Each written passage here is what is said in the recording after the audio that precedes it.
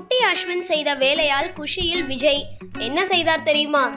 பிரபல தொலைக்காட்சியின் குட்டீஸ் நிகழ்ச்சியில் கலந்து கொண்டு மக்களின் ஆதரவை பெற்றவர் சுட்டி அஸ்விந்த் இவர் தற்போது விஜய் சேதுபதியின் சூப்பர் டீலக்ஸ் விஷாலின் சண்டைக்கோழி டூ நட்டி நடிக்கும் புதிய படம் என பல படங்களில் நடித்து வருகிறார்.